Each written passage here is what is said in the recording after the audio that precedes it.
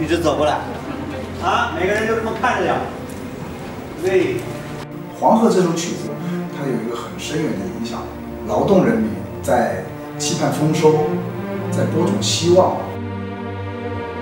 我叫袁佳，呃，我来自北京舞蹈学院中国民族民间舞系，我是一名教师。五六七八退，退退原地原地原地，我们退一个圈儿，退一个圈儿，退一个圈儿，然后推到。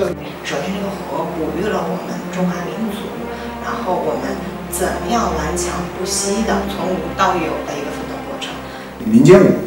因为我们是来源于民间的，我们一切的东西都是从劳动人民的他的情感、他的这种生活场景当中来的，它应该是离百姓、离乡土最近的一种形式。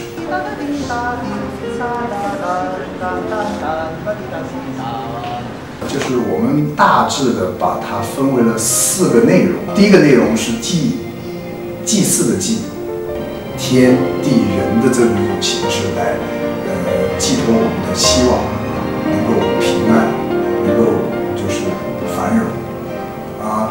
对。啦啦吹对，要给那些退回去。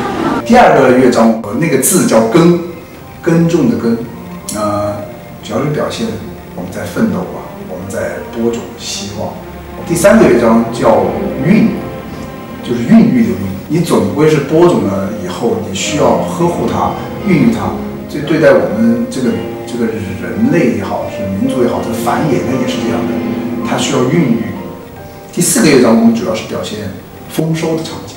这个丰就是最后的结果，是所有人在前面铺垫了这么多以期盼的、所寄予的那个结果。所以大家尽情的在舞台上挥洒着自己。丰收的那一刻，想表达那个情感，和音乐是完全的融合在一起。那还少一个圈儿，少一个圈儿，对你跑。走，一、二、三，跑跑。五、六。对，看到没有？这次来这边教课，对于我来说是一次极其神奇的一个旅程。从我的了解，他们有建筑师，有心理医生。宠物护士、大学生还有孩子，他们在有自己的工作的情况下，还在进行着我们的排练。但是这群所谓的其实是非职业的舞者，但是我觉得他们身上具备着很多职业舞者不具备的。确实是热爱舞蹈，没有任何的说抱以什么样的目的我来到这儿了。越单纯，反倒越容易干成一件事情。通过黄河，了解自己的祖先，了解自己的民族。就三个字，接地气儿。